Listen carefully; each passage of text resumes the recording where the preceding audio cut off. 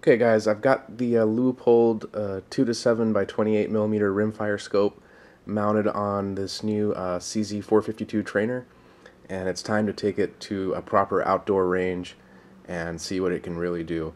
I took it to a 50 foot indoor range a few days ago and I, and I did a little video on that. Uh, the rifle just with the open sights worked like a champ, extremely accurate, um, but uh, I, I really want to kind of stretch its legs a little bit and uh, and see what it can really do. So here's what the scope looks like with those BKL 257 mounts. Now I realize the uh, barrel is kind of a little bit high off the barrel. I'm sorry, the scope is a little bit high, but I did that on purpose. These are uh, 0.6 inches higher than the standard uh, height scope uh, mounting rings.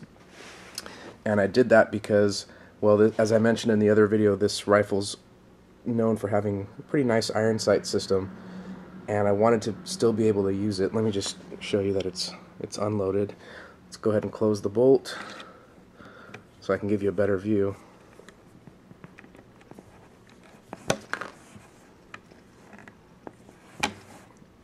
Uh, just a sec, there we go. Put the safety on.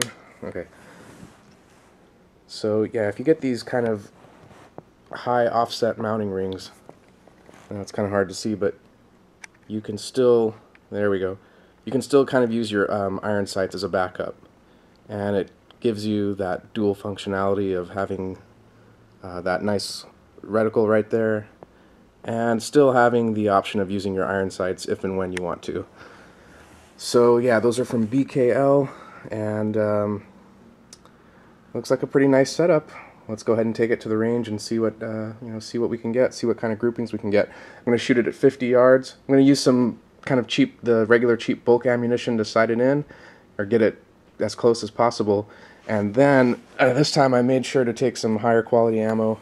I've got that Wolf match grade made in Germany 22 LR uh, kind of like target grade ammunition. And just for kicks I'm going to take a, a, few of these CCI Stingers, 32 grain. Uh, basically, this is kind of like CCI's higher end um, 22 hunting ammo. And it's pretty fast, 1640 feet per second. I've got a 24.8 inch barrel, 24.8 inch barrel here, so it should get pretty close to the um, advertised velocity.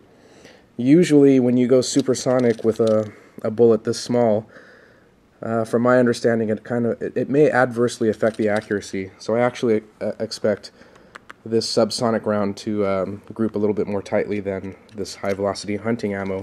But in case uh, you know, for some of you guys that shoot um, rabbits and and other pests, and you want to do pest control with a, a rifle like this or something similar to it, you know, this might be helpful for you. So let's go ahead and head out to the range.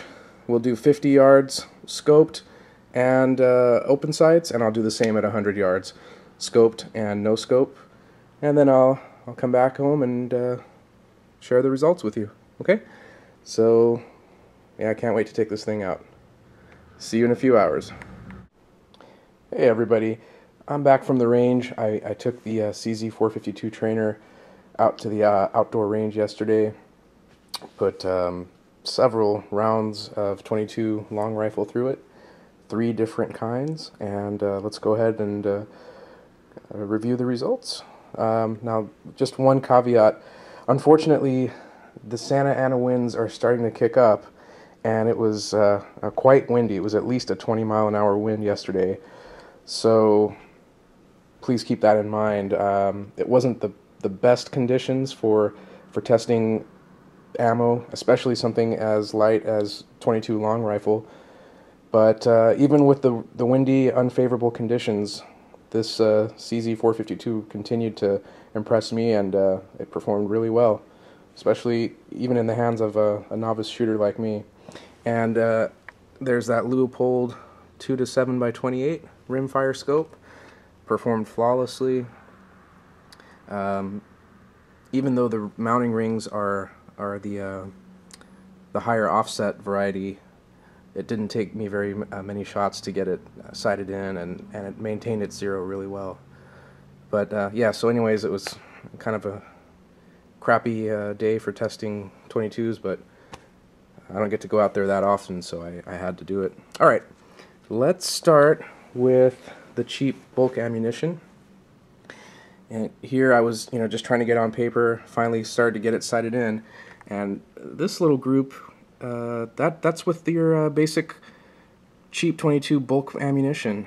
Um, not too bad. And if you can believe it, that little baby right there was also shot with uh, with the cheap stuff as well. That's um, under an inch for sure. What is that?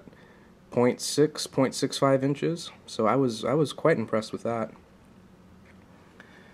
Um, let's go over here and get to the uh, higher quality match match grade 22 ammunition from Wolf. This was at 50 yards with the scope and another nice small group. We've got a small group here that's, I would say that's maybe, I don't know, four tenths of an inch, under half an inch, and that larger group is um, about six or seven tenths of an inch as well. So that Wolf ammunition definitely made a difference. The only thing I didn't like was that it's got some kind of slick coating on it, uh, which kind of gets all over your fingers when you're loading the magazines, but perhaps it helps with feeding and it and it does do something for the accuracy because this ammunition was quite accurate. Here, let me go over here. This was with the uh, open sights that I was using underneath the uh, scope. Not too bad.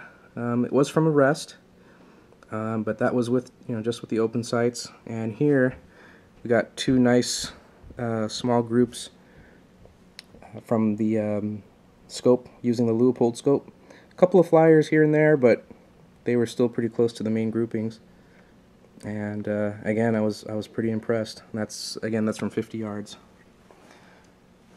Now let's go over to our Stinger 22 long rifle uh, hunting ammo from CCI. This does exceed the uh, the speed of sound, 1640 feet per second, for a 32 grain bullet, and it shot pretty well as uh, also. A couple of there's your main group right there, another smaller one here, and uh, three flyers. It, it, wasn't quite as accurate as uh, the target grade ammunition, um, because as we discussed earlier, small bullets like this um, once they cross the speed of sound, uh, there's some turbulence and and the bullet can start to uh, the accuracy can start to diminish. So, but but for hunting needs, I mean, this is pretty much all you need. You can get an accurate, clean kill on on uh, pest animals or small game, and uh, shouldn't be a problem. It's pretty accurate as well. So there you have it. At 50 yards, in unfavorable conditions. I will take this uh, rifle and probably that Wolf ammunition out again. Hopefully next time the uh, the winds won't be so bad and I'll be able to get even even smaller groupings. If I do, I'll I'll be sure to share that with you. So so far so good on this CZ452 trainer. I'm glad I bought it. If you're considering something, you know, like I said, a little bit a little bit more accurate, a little bit higher end than just the base model Ruger 1022, and you don't mind a bolt action, this is something that you should definitely put on your short list. Uh, I really like it. Not to say that a Ruger 10, 1022 can't shoot like this, but from what I've read, from my understanding, you probably need to do a few modifications to it to get um, the accuracy up to the next level. Alright, so there you have it guys. Sorry about the um, unfavorable conditions. Hopefully next time it'll be better. But uh, if you have any questions, comments, please go ahead and feel free to type them in.